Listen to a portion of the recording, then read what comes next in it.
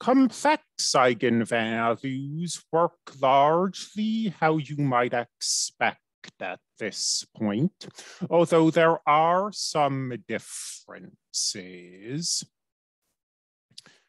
Say that you have complex eigenvalues. Here.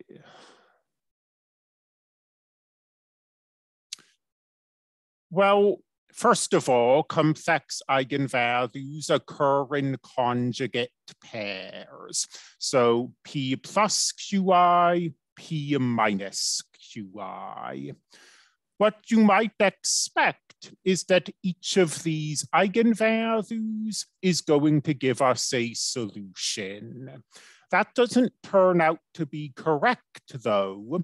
We're going to select one of these eigenvalues and work entirely with it.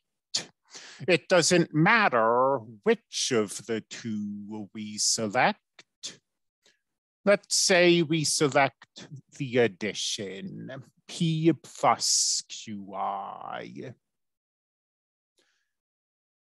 This complex eigenvalue is going to have a complex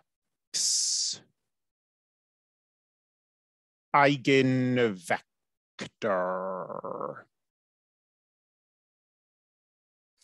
And from past experience, we expect the solution to be the eigenvector times E raised to the eigenvalue times T. And because we have seen Euler's formula before, it will probably come as no surprise that we're going to rewrite this complex exponentiation in terms of sines and cosines.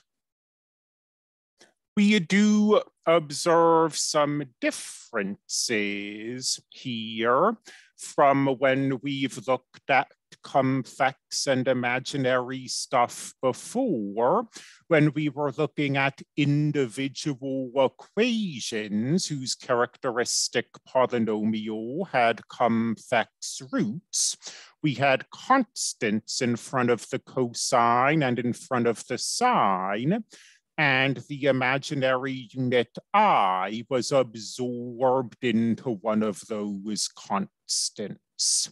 So this is a little different from what we've seen before, but I hope basically unsurprising.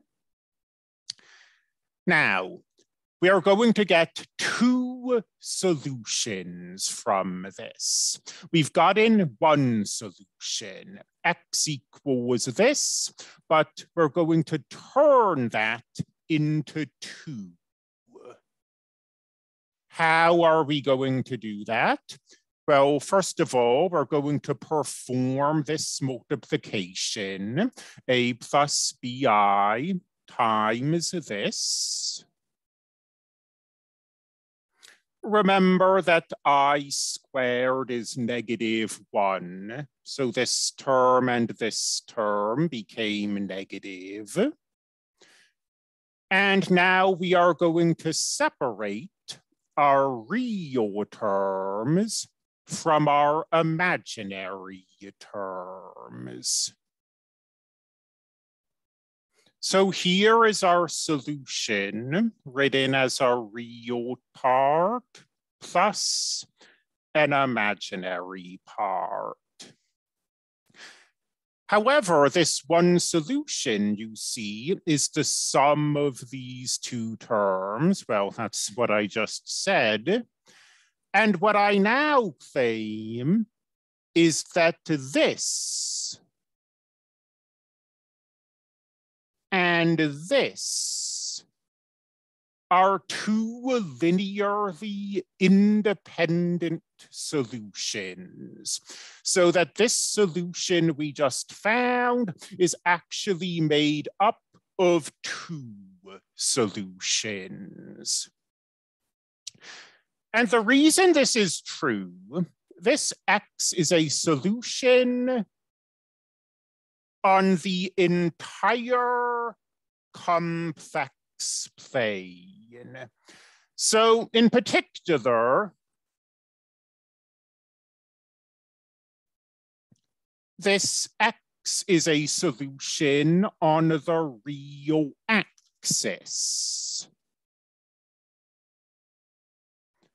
And this X is a solution on the imaginary axis. When we are looking at the real axis, all of this imaginary stuff vanishes and we just have this. When we're looking at the imaginary axis, all the real stuff vanishes and we just get this. So this and this are two solutions. This is the solution on the real axis. This is the solution on the imaginary axis. And those so these solutions are linearly independent. I mean, you could use the Wronskian, for example, to demonstrate that.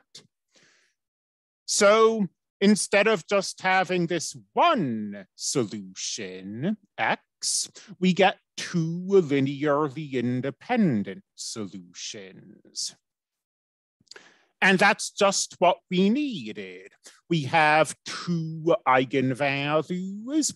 We need two linearly independent solutions. And we got them. And we got them entirely by looking at this eigenvalue. We don't have any work that we need to do with P minus QI. I should say in passing that although all of this works out mathematically, it is in practice harder to deal with complex roots.